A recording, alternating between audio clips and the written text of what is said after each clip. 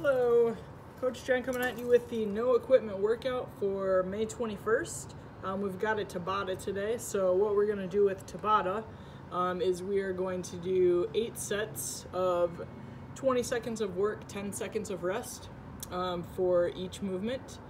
Um, well, you'll do one movement and then you're going to move on to the next movement. So uh, let's go through our movements. Our first movement today we have a backpack swing. Here's a backpack. You can fill this um, as heavy as feels good for you, um, as heavy as you have confidence that the straps will hold on this. Uh, we're gonna, got a couple options here, gripping at the top, gripping the handles. I'm gonna go with the handles. Uh, and all we're doing here, maybe I went too light, is some nice easy swings. Russian swings, driving it up to eye level. Gonna need a little bit wider stance for clearance with the backpack.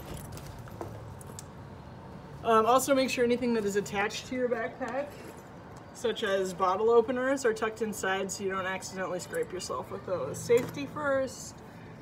Um, our next movement, our backpack high pull, same thing. We're gonna set up, these are gonna be just like uh, we would do sumo deadlift high pulls at the gym.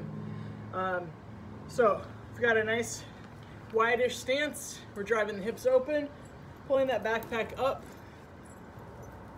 Elbows should be going up in the sky. If they're pointing out to the side, redirect them.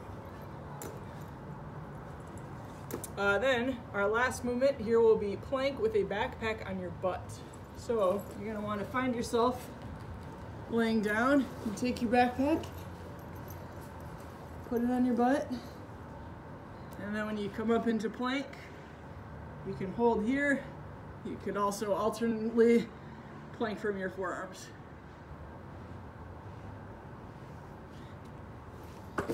You're gonna do those, remember? We've got eight sets, uh, 20 seconds on, 10 seconds off. Uh, work through your backpack swings. Uh, moving on to the backpack high pulls, again, eight sets, 20 seconds of work, 10 seconds of rest, and followed by eight planks, 20 seconds long, 10 seconds of rest. Have fun.